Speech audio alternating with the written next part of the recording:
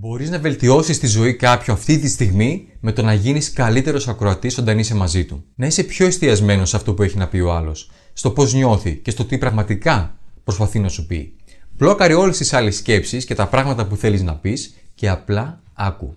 Όταν εστιάζεις την προσοχή σου αποκλειστικά στο άλλο άτομο, στις σκέψεις, στα συναισθήματα, στα πιστεύω του, χωρίς να το κρίνεις ή να το διακόπτεις, δείχνεις ότι τιμάς τον άλλον και ότι τον σέβεσαι. Και παρότι φαίνεται απλό, πρώτον, είναι λίγοι αυτοί που το κάνουν πραγματικά. Και δεύτερον, όχι μόνο ενδυναμώνεις τον άλλον και τον κάνεις να νιώθεις ξεχωριστός, αλλά νιώθεις και εσύ το ίδιο. Φυσικά, όταν είστε σε μία ομάδα ανθρώπων που μιλάτε, δεν μπορείς να αποκλείσει τους υπόλοιπους, αλλά και πάλι μπορείς να εστιάσεις σε αυτόν που μιλάει, παραμερίζοντας τι σκέψει σου και αυτό που θέλεις να πεις εσύ, δίνοντας βάση σε αυτό που λέει αυτός που μιλάει. Σε περιπτώσεις όμως όπου μιλάς μόνο με ένα άτομο, τότε μπορείς να το κάνεις αυτό. Οπότε βάλε σαν στόχο να γίνεις καλύτερος ακροατής από εδώ και πέρα. Είμαι ο Θοδωρής Αραμπατζής και θα πούμε στην κορυφή.